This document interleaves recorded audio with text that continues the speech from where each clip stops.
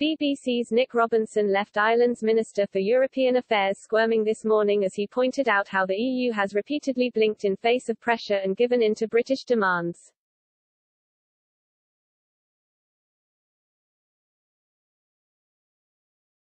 BBC's Nick Robinson told Ireland's Minister for European Affairs that the EU blinks if you are tough.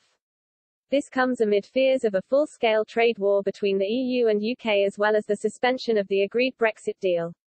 The current Brexit deadlock largely centres around the Northern Ireland Protocol.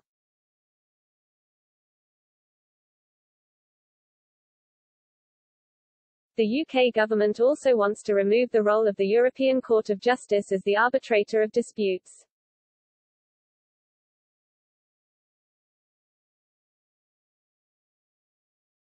Mr Robinson challenged Thomas Byrne on the ongoing tensions, and whether the EU will bow to British pressure yet again.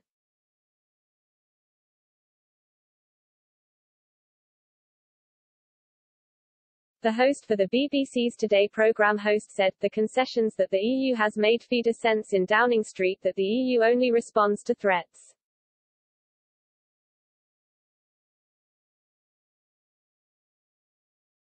Those around Boris Johnson believe that the EU blinks if you are tough.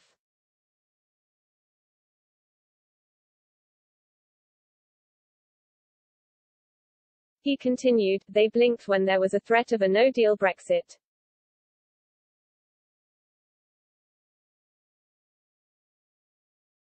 They blinked when they refused to move on French trawlers and fishing.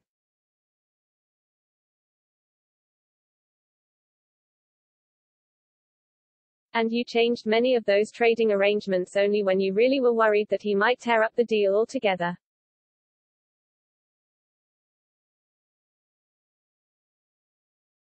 In response, Mr. Burns said a tough guy approach to Northern Ireland will lead to disaster.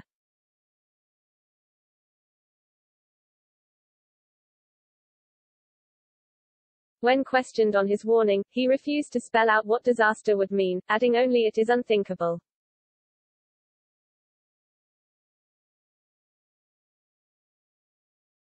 He continued, the EU has come up with some really, really constructive proposals on Northern Ireland.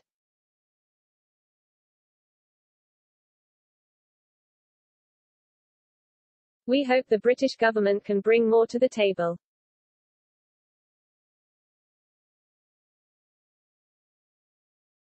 The Irish minister added, there is a serious danger of complete instability in Northern Ireland and that's what motivates the Irish government in all of our dealings in relation to the protocol.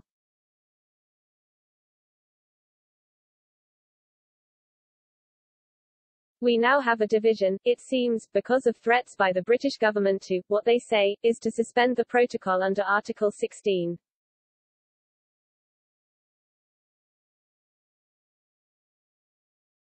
We're not entirely clear what that's about.